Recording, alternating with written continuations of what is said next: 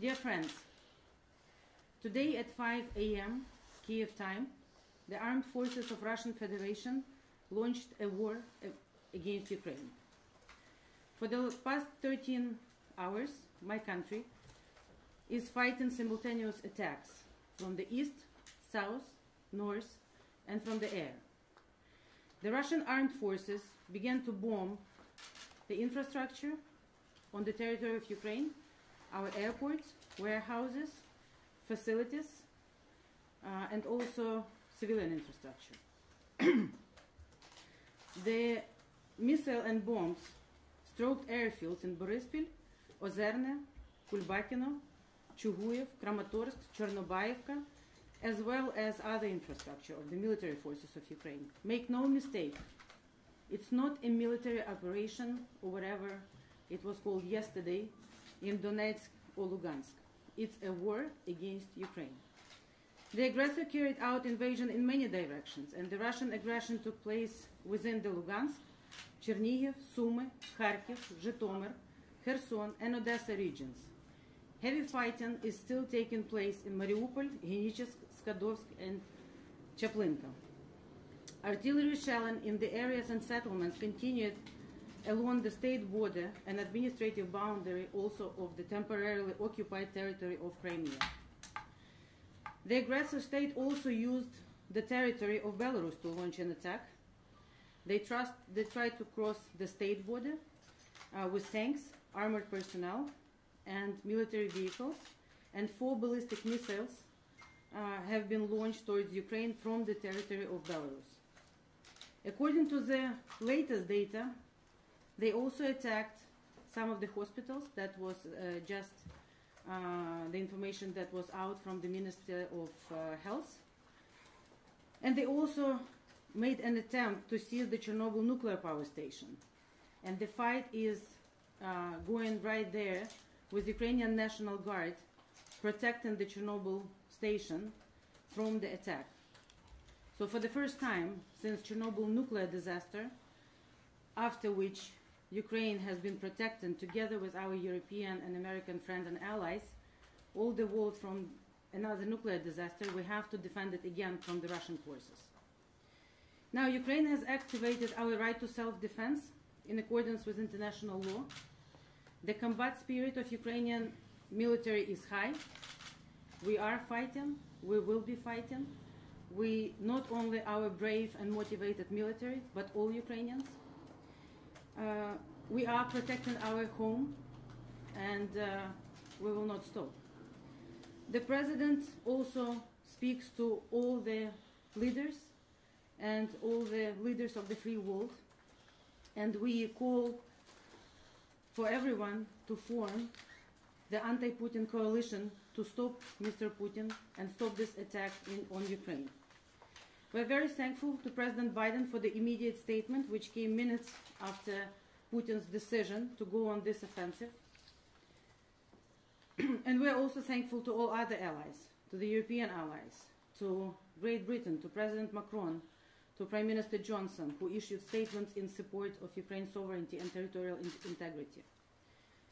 Uh, Ukraine already has severed, severed diplomatic relations with Russia. We call on all of our friends and allies to do the same. Uh, we also call on international organizations to consider excluding Russia from membership for flagrant, flagrant violations of international law. Now, we value all the support. We hear all the support. It's very important for us, but it's also time to act. And we call on international community to act immediately.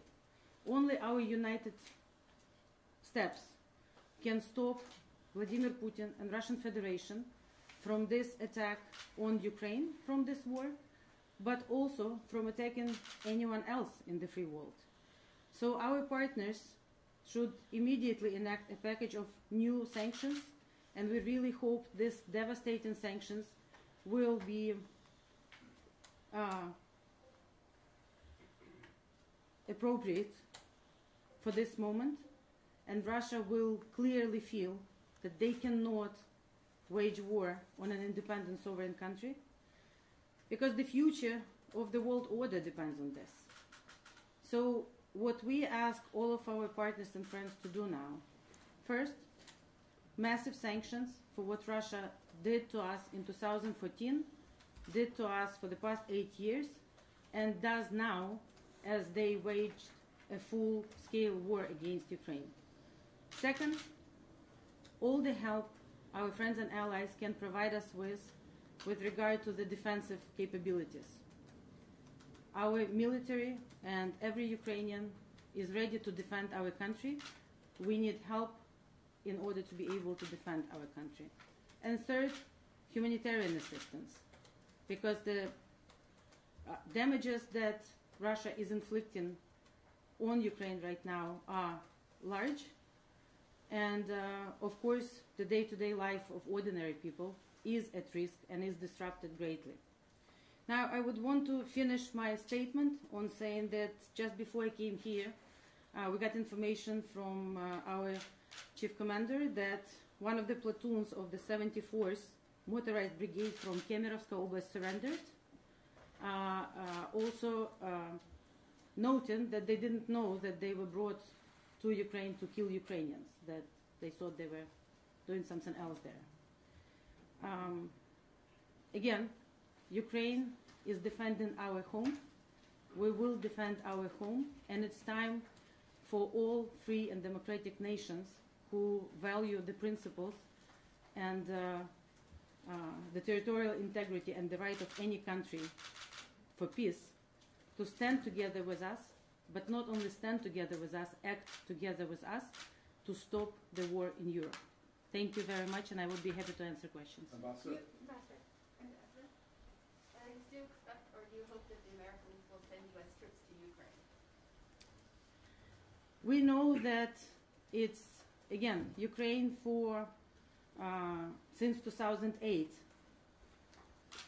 announced our clear goal to be part of the European and Euro-Atlantic security system. We are extended opportunity partner with NATO, but we are not part of any of the alliances. So we do not expect anyone to fight for us, but we expect all the help and all the response the West can send to us. At the same time, we are also requesting and would appreciate the peacekeeping operations from the peacekeeping loving countries, the peace loving countries, uh, and uh, uh, any support that we can get. Ambassador Josh with NBC News. Could you elaborate on what you just said? Did you say that a Russian platoon has now surrendered to the Ukrainian military because they were under the impression they weren't going to be fighting Ukrainians? Are those Russian troops now being detained by Ukraine's military? Are they prisoners of war? Uh, that's the information that we have received from, and it's official an announcement from the uh, our commander, uh, chief commander of the armed forces, that yes, they have surrendered Do you know how many? and uh, platoon. So I don't know the exact number, but Madam Ambassador, Olivia Gazis with CBS News. Uh, intelligence indicates that the Russians have lists. They intend to decapitate the Ukrainian government and they have lists of targeted individuals that they could assassinate or send to camps. First, is President Zelensky going to stay in Kiev at this moment? And second, what is the government doing to protect those people that they know the Russians have identified as targets? Well, if you listen to President Putin's so-called speech before he announced war on Ukraine, uh, and his speech when he recognized so-called uh, DPR and LPR, it's clear to us that again, it's not about Donetsk or Lugansk. It's not about some of us. It's essentially a declaration that we do not have right to exist. Now, we have existed long before Russia.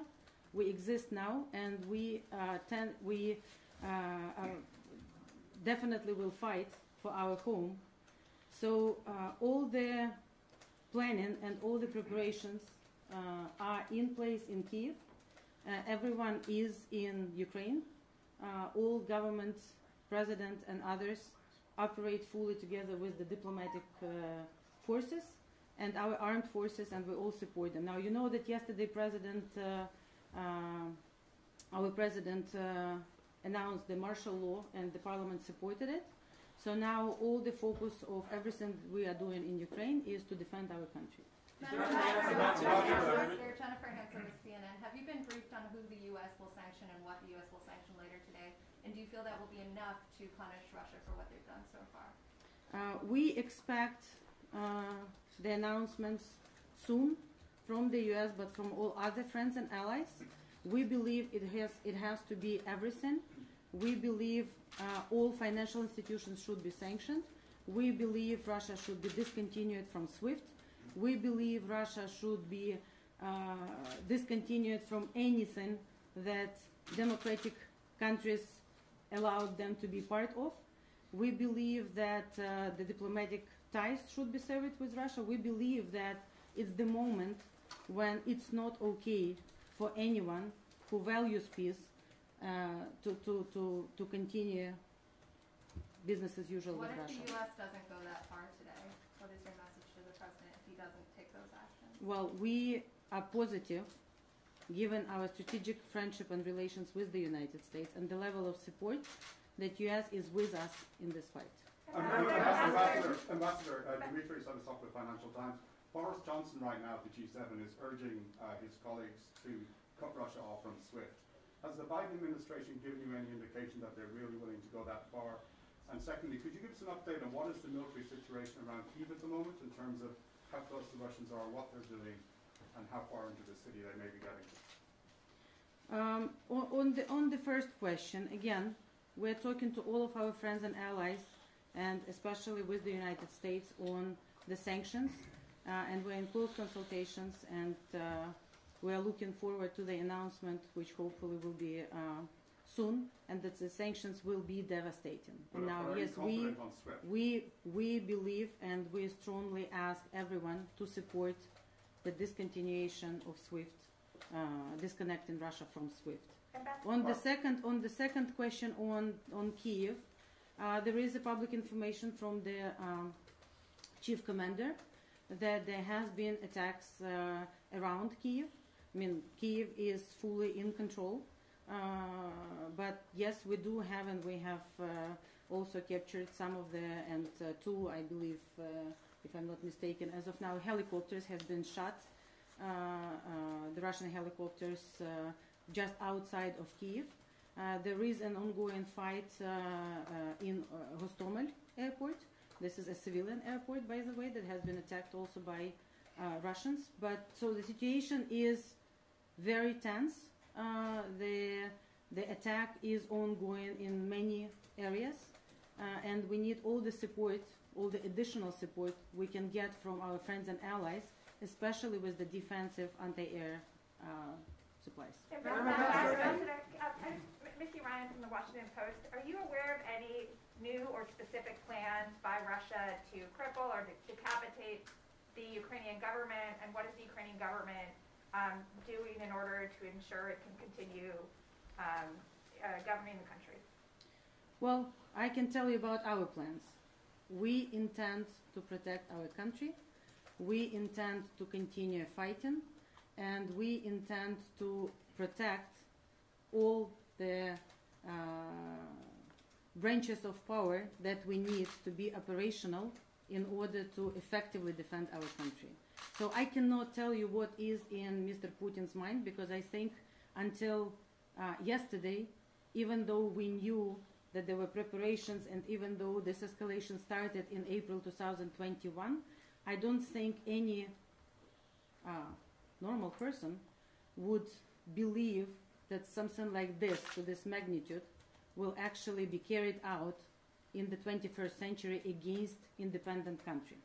So I don't know what the plans are, but I want to assure you that whatever those plans are, we will resist and we will fight and we will defend our country. Madam Ambassador- Ambassador, Yes. Liz Landers with Vice News, you talked about the humanitarian assistance that you are asking for right now. Can you speak to the humanitarian crisis that may ensue?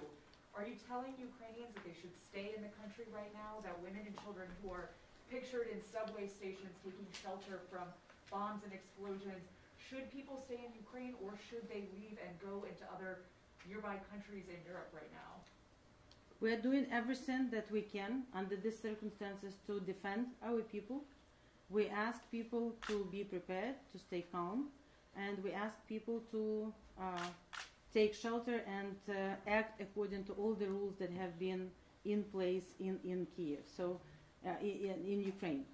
Uh, again, as we do not know what is going to happen in the next uh, hours, the main focus now for all of us should be how to stop this attack. It's not Ukraine that is adding to the to, to the risk of the situation. Russia is the only country that is solely responsible for what is going on. they have attacked us. They have put our civilians at risk right now, and we're doing everything possible to save every life in Ukraine.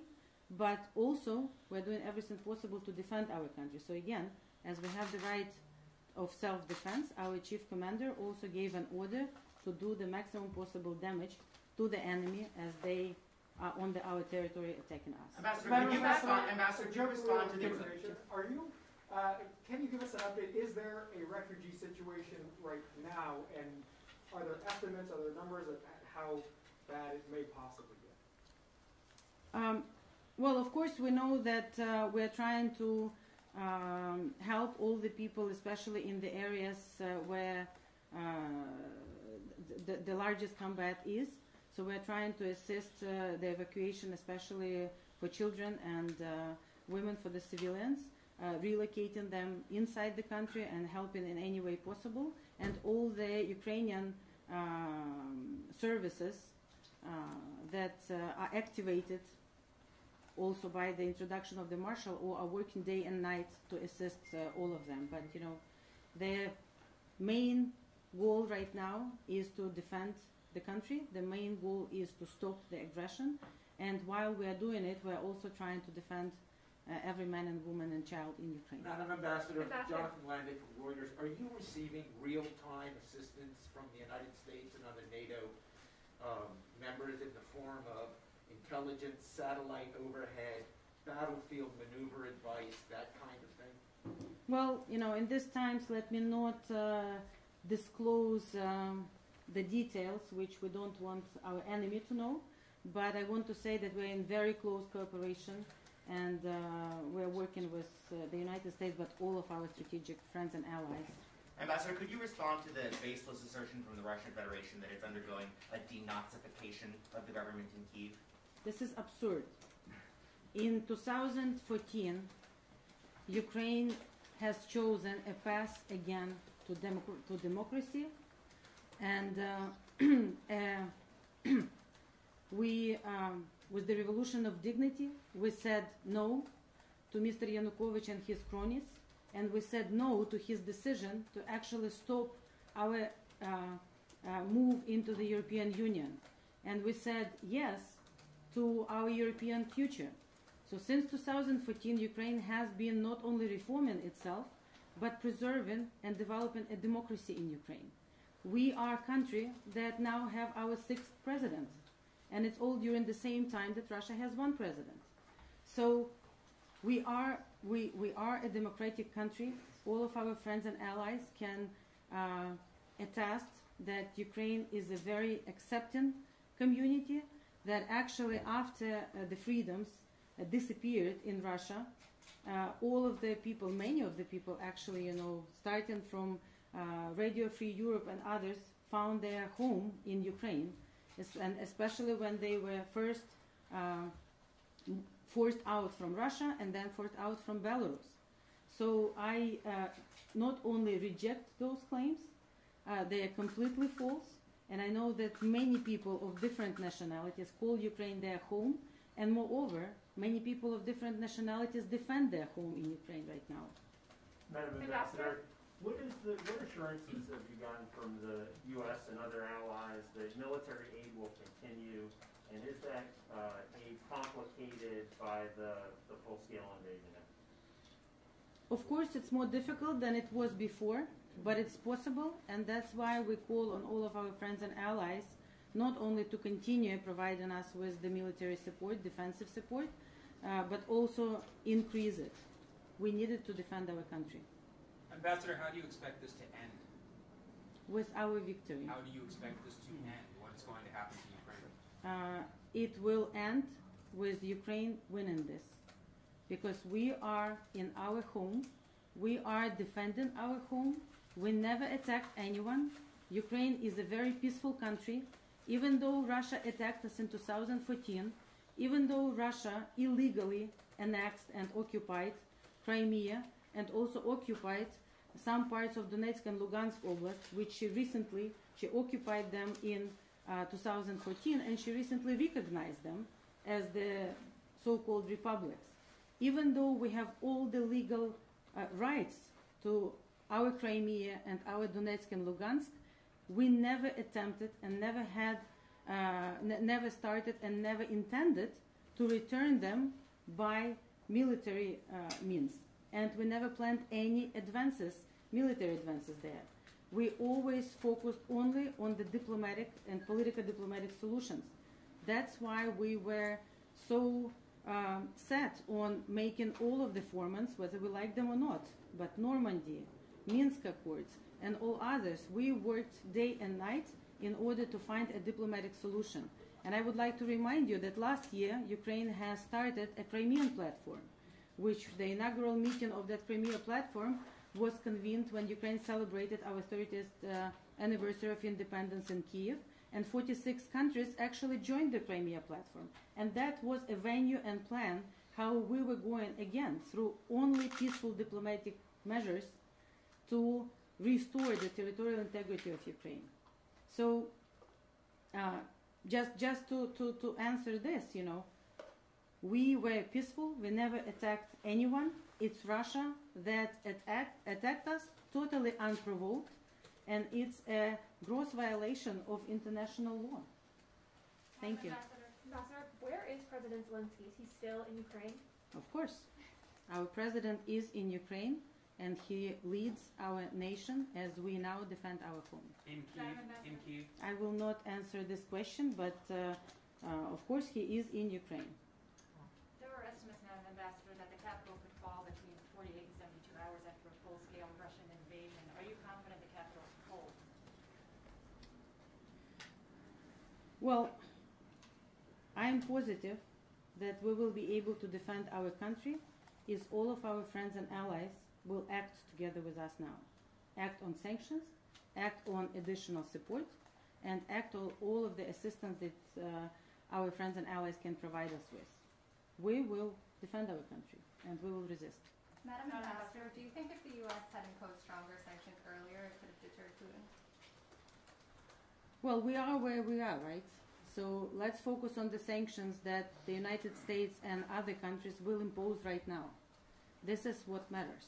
I think, you know, the message we all together and the acts, the actual deeds that we all together will do now is what, it, what matters. Madam Ambassador? Courtney from Wall Street Journal. Thank you for us. Um, you mentioned the, the two Russian helicopters that had been shot down, and you mentioned the platoon that has reportedly surrendered.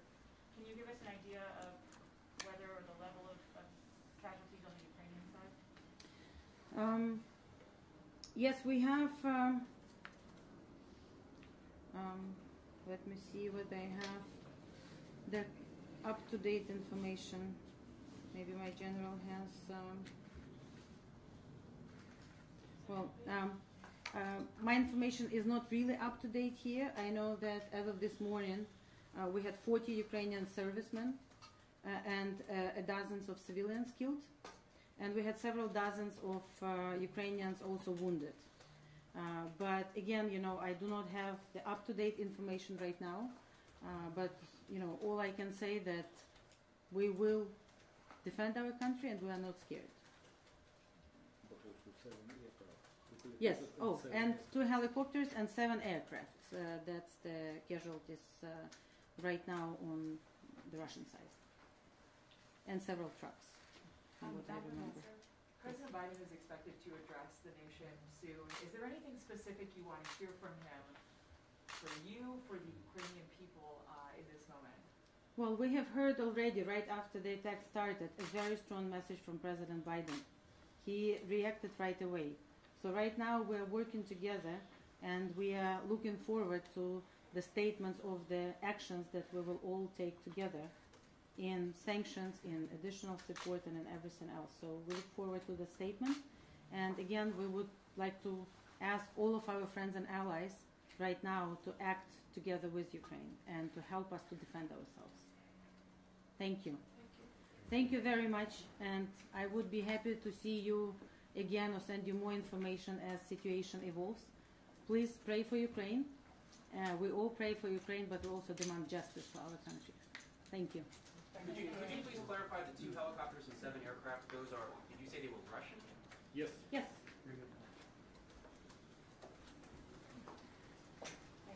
Thank you very much.